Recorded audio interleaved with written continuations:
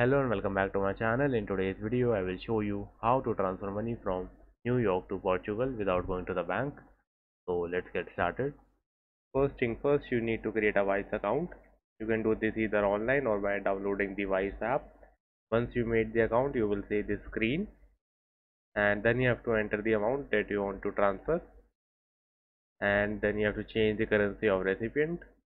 Now you have to click on continue and it will ask you the details about yourself like your country of residence, full legal name, date of birth and phone number.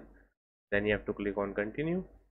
Now it will ask you the recipient details and uh, then you have to review the payment and at last you will be able to pay the amount.